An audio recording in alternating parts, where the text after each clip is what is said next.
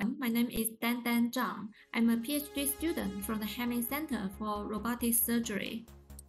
During my PhD study, I work on multi-scale robotic platforms. I developed a microsurgical robot research platform for robot-assisted microsurgery research and training.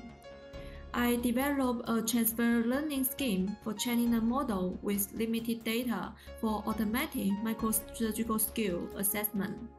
For dexterous micromanipulation at a cellular level, microrobots with complex shape for the implementation of out-of-plane control is investigated. Machine learning-based vision checking technologies for depth estimation and pose estimation are developed for microrobot monitoring during optical manipulation. I also work on enhancing the level of autonomy for robotic surgery. I propose an effective workspace analysis framework for design and verification of a portable master manipulator.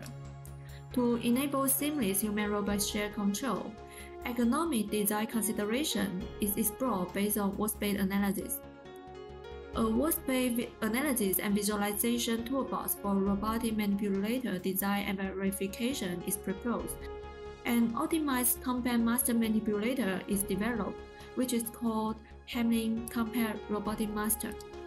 A handheld master controller is developed based on visual and inertial sensor fusion.